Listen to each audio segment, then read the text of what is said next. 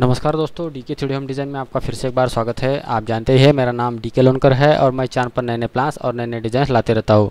तो आज भी आपके लिए एक छोटा सा प्लान लाया हूँ। जो प्लान तो है, हमने नहीं बनाया था, उसका थ्री फ्रंटिलेशन हमने बनाया था, वह थ्री फ्रंटिलेशन मैं आपको दिखाने वाला हूँ। उसके बाद में उसके कुछ कलर ऑप्शन हमने बनाए थे, वो भी मैं आपको दिखाने वाला हूँ। इससे पहले स्क्रीन पर जो देख रहे हैं, हमारे ऑफ़िस के नंबर है। अगर आपको प्लान की या डिज़ाइन की ज़रूरत है तो इन नंबरों पर आप कॉल कर सकते हैं। या व्हाट्सअप कर सकते हैं और हमारी क्या फ़ीस होती है, क्या प्रोसेस होती है, उसकी डिटेल में जानकारी ले सकते हैं। और अभी तक आपने हमारा चैनल सब्सक्राइब नहीं किया है तो प्लीज़ इसे एक बार सब्सक्राइब कर लीजिए और बाजू में जो बेल का आइकन है, वह भी दबाइए ताकि हम जो भी नया वीडियो अपलोड करते हैं, उसका नोटिफिकेशन आप तक पहुँच सके और वह वीडियो आपसे मिस ना हो। तो देखिए, ये प्लान जो है, ये प्लान क्लाइंट का प्लान था, हमारे पास थ्री डिफरेंट के लिए आया था।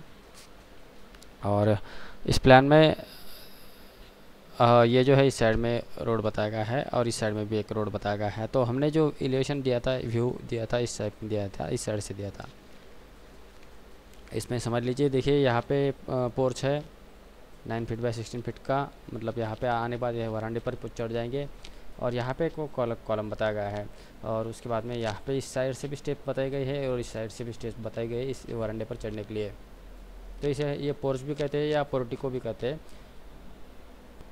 उसके बाद में एंट्री करते हैं, यहाँ पे लिविंग रूम में लिविंग रूम का साइज़ आपको क्लियर नज़र आ जाएगा। ये प्लान जो है, हमने नहीं बनाया था, ये प्लान हमारे पास क्लाइंट का था, आया था हमने सिर्फ़ थ्री डी बनाया है। तो ये प्लान जिन्होंने बनाया, उनको हम ये क्रेडिट देते हैं। देखिए 18 feet three inch by sixteen feet का इस लिविंग रूम का साइज़ है, काफ़ी बड़े साइज़ है। दो विंडो दिए गए हैं, काफ़ी बड़े वेंटिलेशन रहेगा। उसके बाद में एंट्री करेंगे, यहाँ पे यहाँ पे बाथरूम बताया गया है और यहाँ पे टॉयलेट बताया गया है। इन दोनों को वेंटिलेशन के लिए यहाँ पे पीछे साइड में एक डग बताया गया है फाइव फीट से थ्री फीट का। और इसके बाद में यहाँ पे एक मास्टर बेडरूम बताया गया है। Thirteen feet by fifteen feet का इसको भी दो विंडो दिए गए हैं और एक एटेस्टाइल बाथरूम दिया गया है। Five feet two inch by seven feet का मतलब काफ़ी बड़े साइज़ है। इसको वेंटिलेटर जो है इस डक से मिल रहा है। वेंटिलेशन इस डक से मिल जाएगा। और बाद में यहाँ पे एंट्री करें देखिए स्टेयर के जो है फ़र्स्ट फ्लोर की तरफ़ जाने के लिए मतलब ऊपर की मंजिल पर जाने के लिए। यहाँ से हमारी स्टेयर स्टार्ट हो रही है और यू टर्न करके हम फ़र्स्ट फ्लोर पहुँच रहे हैं। ठीक है? उसके बाद में एंट्री करें इस छोटी सी बेडरूम में nine feet six inch by eleven feet six inch का इस बेडरूम का साइज़ है मतलब नौ फीट छः इंच बाय ग्यारह फीट छः इंच का। इसको एक पीछे साइड में एक विंडो बताया है तो काफ़ी बड़े इसको यहाँ से वेंटिलेशन मिल जाएगा।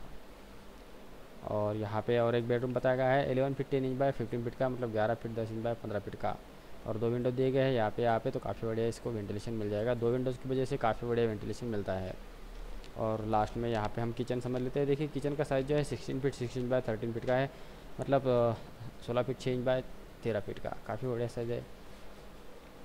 एक पूजा रूम किचन में ही एडजस्ट किया गया है छोटा सा, और दो विंडो दिए गए हैं, यहाँ पे यहाँ पे तो काफ़ी बड़े इसको वेंटिलेशन मिल जाएगा। और आप चाहे तो इस साइड में एक डोर भी लगा सकते हैं, यहाँ पे जो वॉशर यूज़ करने के लिए। तो ये प्लान जो है क्लाइंट का था, इसलिए हमने ये शॉर्ट में समझाया है, ये प्लान हमने नहीं बनाया था।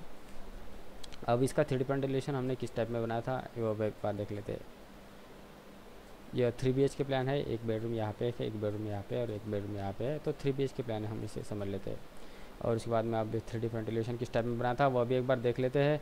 देखिए, ये जो है इस टाइप में इसका थ्री डी फ्रंटिलेशन बनाया गया था। यहाँ पे आपको थोड़े से नॉमिनल चेंजेस नज़र आ जाएँगे।